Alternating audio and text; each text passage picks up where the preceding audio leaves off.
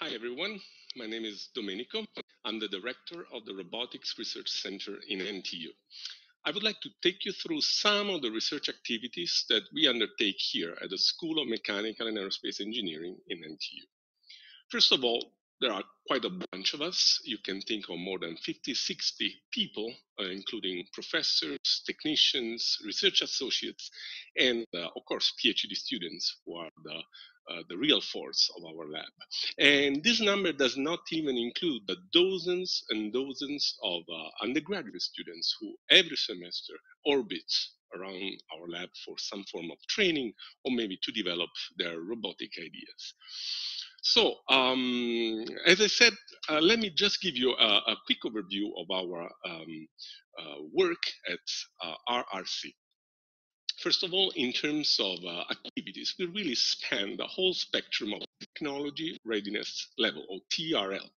Well, uh, this uh, TRL goes from level one to level nine. Level one is really basic research. Level one, you can think of the very eureka moment you have when you wake up with your very great idea. But these eureka moments often die young. So you need to test your ideas and bring them all the way up to the scale uh, to see if it really becomes a, a, final product.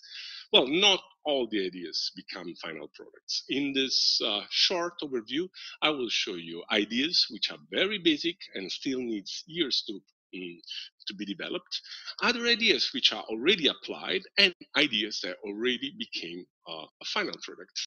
Well, only 50 of us, and how can we do this? Well, uh, first of all, we, the keyword is collaboration. The Robotic Research Center in NTU actually collaborates with different entities.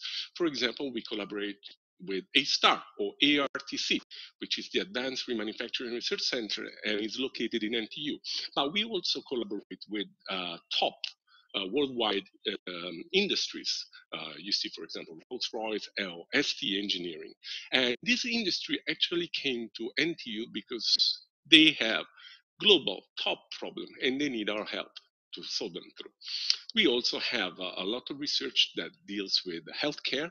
And for example, the Rehabilitation Research Institute of Singapore helps us coordinate with the various hospitals here in Singapore. Let's look at some more details. Let's start with a very big basic research. Some of this research really is at the beginning and maybe can be characterized as the crazy idea some of us have. Let's start with uh, Professor Sato. Professor Sato is behind the so-called cyborg insect. You might have heard of it in the news.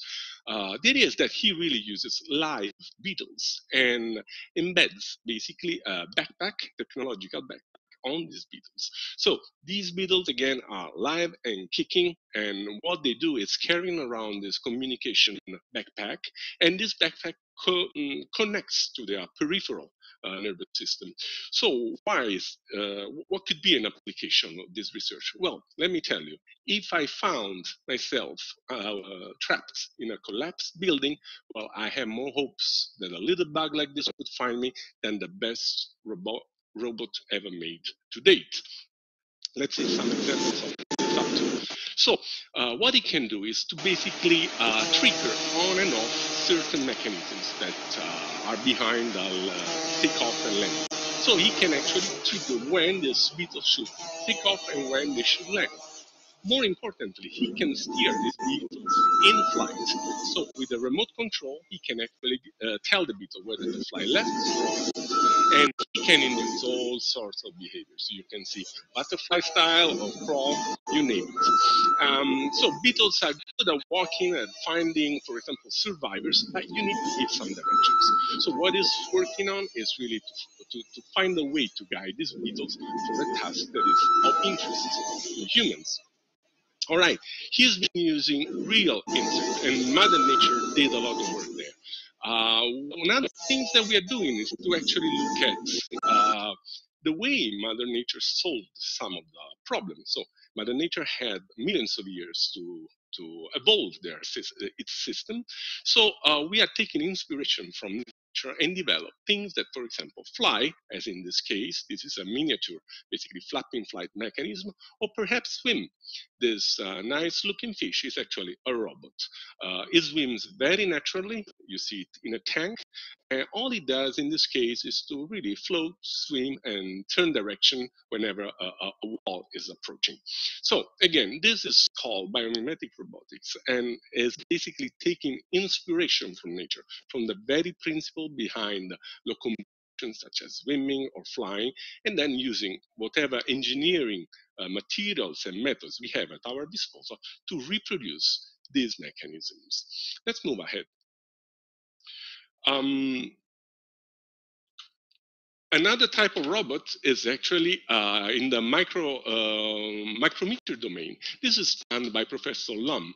So Professor Lum, inspired by this tiny creatures, has developed basically uh, small rubber-like structures with uh, magnets. These embedded magnets can turn, twist and turn in the presence of a magnetic field.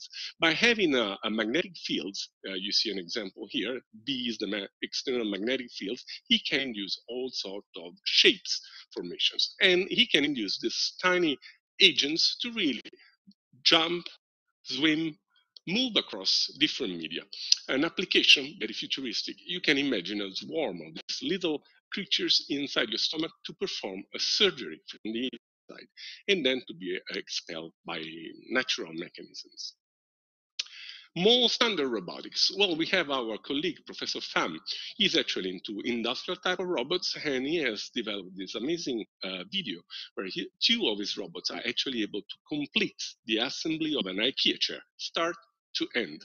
So how does he achieve this? Well, let me uh, show you this video again because it's very fast. First of all, he uses uh, the sense of touch for these robots. These robots are endowed with uh, four sensors and, and they are able to sense, for example, when a pin is actually being inserted into a hole. The issue here is that, yes, IKEA chairs have a pre-designed uh, holes to insert a peg in, but there is a lot of variability. So for sure, the robot can come close to it and then search for it. Let me show you this video again. Now, the robot on the right will try to uh, search for the hole and insert. Look now at this motion. This is the searching motion, and then the other robot will insert once the hole is found. Uh, let's go now into more applied type of research. So this research has been developed in collaboration with many other institutes. Um, for example, again, Professor Pham is using his robots this time on wheels uh, to actually uh, enlarge the workspace for 3D printing. What you see here are basically robots with spe um, special nozzle uh, designed to eject concrete. Uh, with this, these robots can actually walk inside a building and creates the structures that are needed for the interior of a building, not the structural one, but more the, the, the interior uh, structures. Uh, other forms of 3D printing can be, for example, the ones that relate to biomaterials. So um, the advantage of robots is that they really can move in 3D space and they can orient themselves in 3D space. It would be a, a major difference with the current 3D printing, which is often layer by layer. These robots will know about, for example, the curvature of our own uh, skin and uh, body shapes, and will be able to develop, for example, um, membranes which have the very specific curvature that is needed to uh, conform, for example, to our elbow. All right, let me come now to a very important part of our research, the um, robots that deal with humans. Um, so uh, we have uh, robot-human collaborations under different perspectives. For example, we have medical robots. In this case, the robot is designed to really uh, augment the surgeon. Remember, the surgeon is a person with um, great skills. It took uh, years, if not decades, to develop certain skills. And the robot is there to augment. For example, augment precision. Uh, great surgeons, nevertheless, get old and they um, tremble just uh, any of us. Well, the robot can help stabilize the motion of a surgeon and be more accurate, for example, when cutting through bones or making some sort of incisions. On the other end of the spectrum, you have rehabilitation and assistive robots.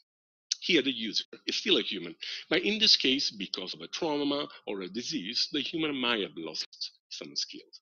So these robots actually assist uh, this human, impaired human, to actually regain, to relearn certain motor skills that are lost due to a trauma or a disease. Then there are robots that are more social. They interact with us not on a physical level, but more on a social level. So they understand what we're trying to say, but even they understand our uh, body motion, our gestures. So uh, if you want to communicate and work together with a robot, well, the robot needs to understand some of the basic uh, uh, body language um, forms of communication that are typical in humans. Very recently, uh, we have moved these paradigms, which are typical of healthcare, into manufacturing. Now the uh, user is actually the operator. Again, just like the surgeon, the operator is someone who has developed skills over years and years of trainings. And here the robot can actually help the operator develop, uh, deploy some, uh, for example, industrial uh, tooling tasks. All right. Uh, speaking of human robotics, it's way more complex than just robotic itself. Definitely, you have robotic technologies and you also have artificial intelligence technologies. But it all has to do with neuroscience. So there is the need to understand the, the, the intrinsic human behaviors and also social sciences. You need to know where to deploy such technologies. You need to know about the population you're trying to, to, to work with. And all the way to mathematics. We do use a great deal of mathematics in the form, for example, of game theory to actually develop artificial uh, intelligent agents which are able to uh, work with us. Here's an example of two people who cooperate with each other through the means of a robot. So we have uh, a lot of activities in the field of healthcare, and this is one example of uh, uh, devices, for example, devices that can be worn by a, a, patient, or maybe devices that you can bring home. Uh, it's very easy to bring home an iPad, but it becomes way more complicated to bring home a robot, uh, starting with safety issues. Well, we are working towards that. We are really decentralizing healthcare. So we are developing robots that can go from the hospitals to community centers and, in the long run, all the way to home. Let me give you an example now of the upper end of the spectrum. Basically, these are uh, this is a list of robotic startups that came out from our lab we have, for example, uh, this um, company, Transforma, and what they do is basically developing this type of robots who are able to come into a building, scan the surfaces, and deploy a, a given layer of coating with amazing precision.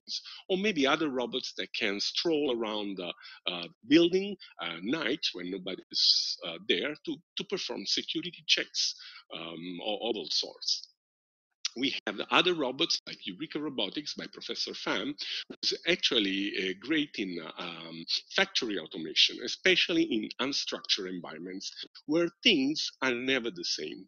This is the greatest challenge for robots to operate in presence of variability.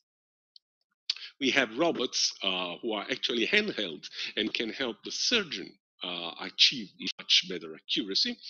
Uh, and then we have, for example, surgical robots. These robots are meant to be uh, operating from within our body. So they enter through a natural orifices, for example, through your mouth, to perform operation on from within your stomach.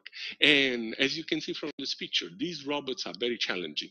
They must give the surgeon the same dexterity the surgeon would have with bare hands, but at a much, much lower scale. Then we have robots for rehabilitation. These robots can actually read your thoughts and uh, deliver the uh, proper amount of training.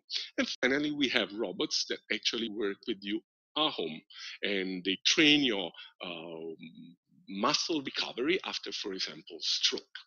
Well, this was a very short overview of our activities. I hope to see you in, in, the, in our labs. Uh, all the best. Thank you very much for your attention.